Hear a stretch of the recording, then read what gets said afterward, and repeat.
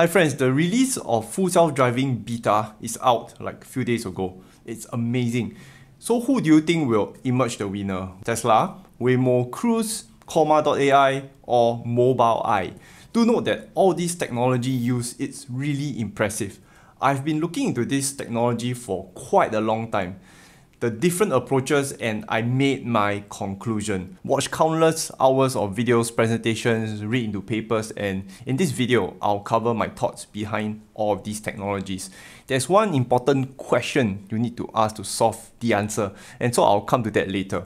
I'll spend a short time on the charts in this video too. Full self-driving saves lives, removing human error and reaction times. Instead of driving, we could use the traveling time to work or rest. If you think about time spent traveling, like over a lifetime, that's like years gone. Also, full self-driving enables robotaxis bringing the cost of transport drastically down and the need for less cars on the road as the use case for each robotaxi goes up drastically. So let's talk about the tech. Waymo and Cruise mainly uses LiDAR, laser technology. I'll cut the, the story short here, else it's going to be a long video.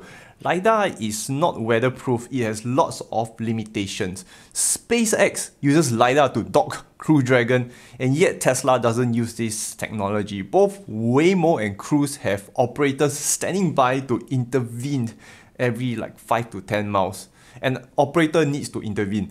That's not full self-driving. I wasn't the one that gave the stats, they did. I'll link a 25 minutes video by Cruise. Uh, do watch it to judge for yourself. If I put it here, I may get a copyright strike because I'm not praising them. Anyway, Waymo and Cruise will fail or end up spending lots of money perfecting this technology. Waymo started 11 years ago and $3.5 billion spent. Cruise started 7 years ago and spent about 2 billion. Hey dude, it's not going to work. Let's talk about the third option, Comma.ai. It's great, but it's only front sensor. AI prediction using 2D images frame by frame. This is the technology Tesla and Mobileye were using. Prediction using 2D images frame by frame has many limitations. Mobileye and Tesla both use somewhat of a similar technology, mostly vision sensor, means it's the same camera used in your smartphone and place these sensors all around the car. Though the input is 2D images frame by frame, the software will convert multiple frames of images to a 3D image. If you think about a human brain, though it's not that obvious, we use our eyes to see in 2D and our brain converts these images to 3D. In doing so, Tesla and Waymo has much more accurate, scalable solutions. Now, the argument is who will reach full autonomy first? As always, my approach has always been first principles asking the right question. At, at the end of all the questions I listed down, it only came down to one question. Which company has the ability to solve the most amount of edge cases wins? That's it. There are millions of corner cases or edge cases. It's crazy. The infinite possibilities of edge cases it's like you, you cannot count it. It's like when you train the AI to recognize a bicycle and avoid the bicycle, but you get cases like bicycles on the back of a car, on a truck, or multiple bicycles. What do you do? How about construction zones, uh, debris on the road, or animals? You see, my donkey appeared just to test the AI. Over here, Mobile Mobileye has an advantage. Mobile Mobileye has 50 plus million vehicles equipped, and mostly other automakers are using their technology. So again, it sounds like a David versus Goliath situation. Tesla has much fewer vehicles on the road. This is the reason why I took a real long look into Mobileye's technology and watch all their presentations and look through everything I can dig out of them.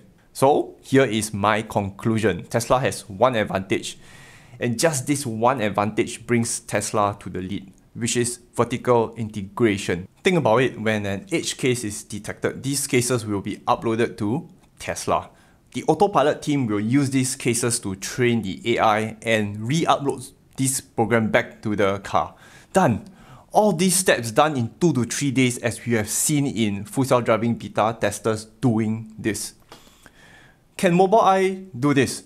Technically, yes, they can, but I don't see that coming anytime soon traditional automakers have to make their cars that come with over-the-air software updates. Seriously, tell me if you are able to, to see that coming soon. Over-the-air updates is not as simple as it sounds. Like all systems in the car have to talk to one another. In the traditional automakers engineering, they have the like aircon department, suspension department, engine department, frame department. Sandy Munro mentioned it's almost impossible to make these departments to get any change done. I want Mobileye to succeed it's because it's good for the world. I hope they take the active steps to address this problem, else Tesla will be the only one doing this shit in the future and it's going to be a problem. Competition is healthy. Let's take a quick look at the charts. You notice that on last Friday's closing, there was a huge rejection below $420. How do we see that? You notice this tail over here is a very long tail compared to the body of the candle. This is a very big rejection below 420.